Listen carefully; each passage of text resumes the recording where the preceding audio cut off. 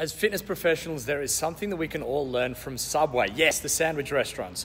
What can they teach us? What can we learn from a fast food restaurant about the journey that we take our clients on?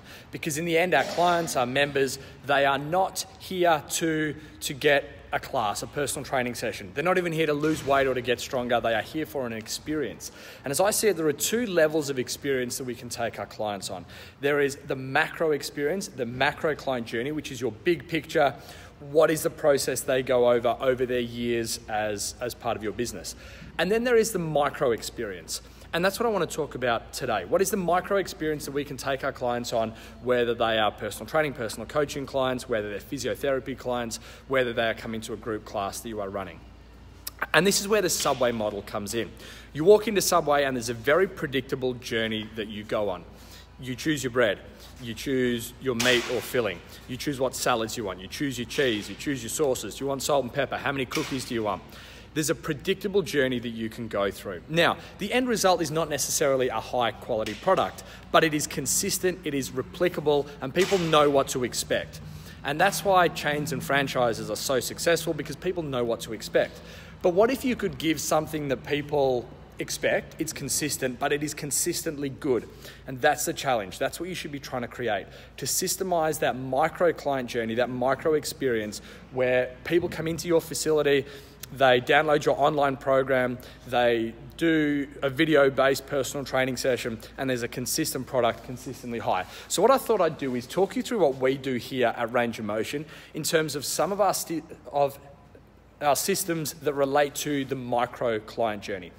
So basically, this is what happens when, when people walk in, they come in for their session. Uh, all of our clients at Range of Motion do personal coaching. Uh, this is a one on one type environment with their personal coach. So they come in, and this, this chart here, this is the Range of Motion session flow. And this basically guides them through what they will be doing as part of that micro journey. This is our version of choosing the bread, choosing your filling, choosing your cheese, choosing your salads, choosing your sauce, choosing your cookies. This is our version of that. So they can come in and they know that there is a set process that guides them through what we do. Now, we can obviously go pretty deep into this, but let me keep it nice and simple.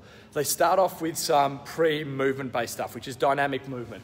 Then they go into pre mobilization, activation, building to their working weights. They plan the session with their personal coach, and then they go and do their actual training session. So, this step six, their training session, is only one of 10 parts of the experience of the micro client journey that we take our clients through. From that point, they then go straight in, into some recovery work, which is more dynamic based movements, similar to what we did at the start. And finally, they will move into a debrief with their personal coach, stabilization work, and post mobilization work. As we go, as the clients go through their session, they have this card which they take around with them. And this card corresponds to what you see here over my shoulder. What this allows them to do, we identify which movements are being completed in the session that they are doing for that day. Maybe they're doing six different positions. Maybe there's a hip hinge, maybe they're at the bottom of the squat, maybe there's a load overhead, maybe they're pulling some load in towards their body. And for each of those different positions, there are a number of key faults that we can identify. We can then further identify whether those faults are caused by a lack of stability or a lack of mobility. They then come to this chart, and on this chart, for each fault that we can see in all of these different movement archetypes, all of these different positions, there are a series of exercises that, that they should do to fix that. So, again, this is a system that is completely automated that our clients are well drilled on.